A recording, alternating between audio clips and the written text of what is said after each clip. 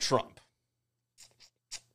Not our favorite topic, of course, but uh, we did talk about Anthony Fauci yesterday saying that the NFL would have to come back in a bubble if they wanted to finish the season, et cetera, et cetera. Donald Trump immediately jumped on that.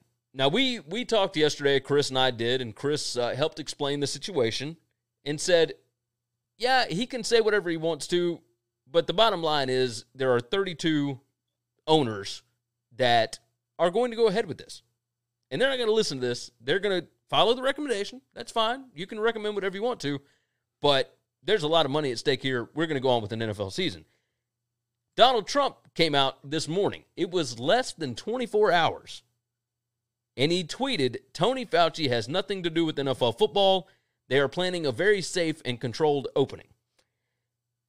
It is amazing to me that it took less than 24 hours for the President of the United States to come out and defend NFL, defend football against a scientist that is just trying to give his opinion on when the game will come back.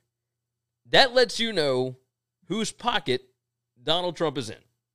Chris, do you agree? Yes, and the downside of this is now because he has interjected himself into this, half the people in this country now are going to say can't have football. Yeah. Just we're going to draw a hard line and if you're anti-Trump, can't have football.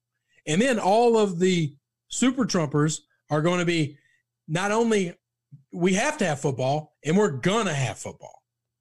And that's it has now become something I love has now become politicized because one person has interjected his opinion. Well, and he, he did the same thing four years ago. Um, and, and it's kind of funny. Like he he was talking about uh, Colin Kaepernick just yesterday, and nobody yep. even mentioned it. He well, but that's because said, he said something reasonable about Colin, and nobody wanted to cover that. And I'm not right. saying the guy's a reasonable person, but I mean, he was asked, should Colin be able to come back? And he said, yeah, let him come back. And if he can play, let him play.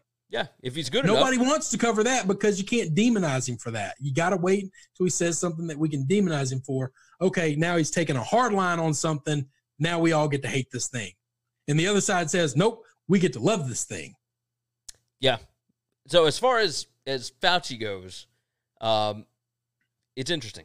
It's very interesting that Trump comes out and says, ah, he's not the voice here. He's not going to make the final decision. Well, no, he we never. But he never was. Like we agreed yesterday, Fauci's not making this call. We didn't need Donald J. Trump to tell us that. No, absolutely not. But it but is he strange. wanted to say it. He wanted to say it, and so he did. Yeah, he most certainly did. I th- I mean, we're gonna have football, hundred percent. Like that's happening. But now half the people in the world are gonna hate football, and just and, because of this, and that's what upsets me. And I wonder what it means to college football.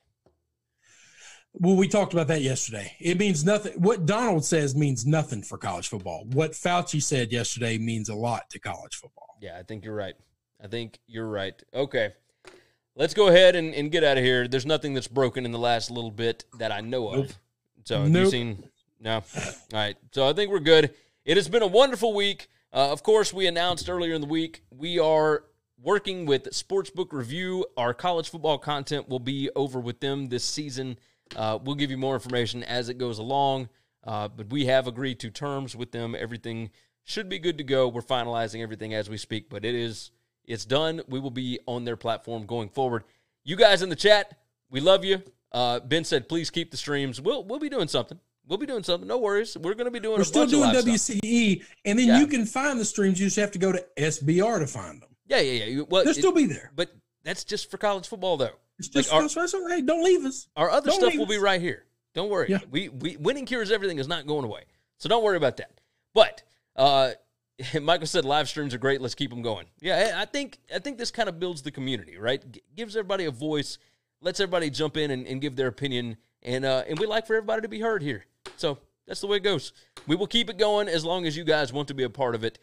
Go over to the podcast, leave a nice review. I saw that Michael left a nice review for us just the other day. We do appreciate that. Of course, continue those going. Share the show out with your friends. Tell everybody you know about it. It has been a fantastic week. Hopefully, next week will be more of the same. You guys have a great weekend. Take care of yourself. Take care of each other. We'll see you on Monday. Thanks for checking out Winning Cures Everything. If you want to keep up with us, hit subscribe on YouTube or your favorite podcast app. Visit the website at winningcureseverything.com, or you can like us on Facebook or follow us at Winning Cures, at Gary WCE, or at Chris B. Giannini on Twitter. Share out the show, leave a nice review, and make sure to comment and tweet at us.